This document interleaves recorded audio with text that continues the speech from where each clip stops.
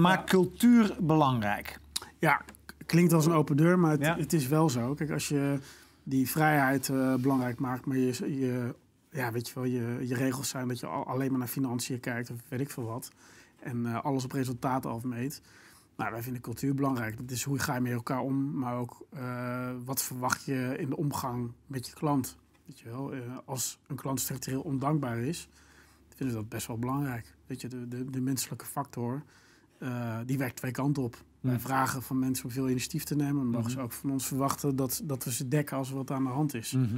Maar even zo goed, eh, ehm, weet je wel, vieren van successen. Als je een eh, pitch wint, hoe, hoe doe je dat dan? Betrek je daar het hele team bij? Of is het hele bedrijf vrolijk? Of we hebben ook gewoon een rol die verantwoordelijk is voor, voor de funactiviteiten. Dat er dingen georganiseerd worden die mensen leuk vinden. Variërend van wat je met Sinterklaas doet, of een keer met Halloween, maar of, of uit eten. En het heeft allemaal geen verplicht karakter, maar wel in ieder geval dat je dingen faciliteert waar eh, mensen lol aan kunnen beleven. Hoe belangrijk is de match met de cultuur van de opdrachtgever?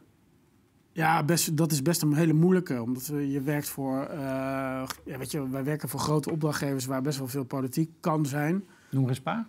Eh, wij, werken voor eh, merken als Netflix, Albert Heijn, Coca-Cola. eh, weet je, dat zijn gewoon hele grote opdrachtgevers waar heel veel gebeurt. En waar een dynamiek is waar we sec niks mee te maken hebben, maar waar je wel bij betrokken, betrokken wordt. Ja, dat, dat moet je wel mee leren omgaan. Mm. En wij hebben mensen, zeker ten opzichte van de concurrenten die in ons veld actief zijn, die gemiddeld genomen op veel jongere leeftijd dan bij de concurrentie veel verantwoordelijkheid dragen. Dat komt omdat we dat willen, want dat is voor onszelf prettiger, want anders word je zeer kwetsbaar als alleen de top in een bepaalde rol zit. Ja. Maar ook gewoon omdat die mensen goed genoeg zijn dat ze aan kunnen. Mhm. Vindt de klant ook prettig, toch? Volgens mij. Ja, uiteindelijk, uiteindelijk wel. Ja. Kijk, er zijn, er zijn ook situaties waar er dan gesproken wordt over...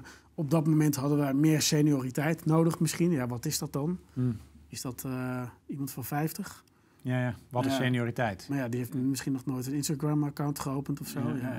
Zeg het maar. Ja, ja. Uiteindelijk is die klant vooral op zoek van... weet je, dat hele medialandschap is eh, hartstikke lastig. Eh, hoe dan? Wat moet ik Ja, doen?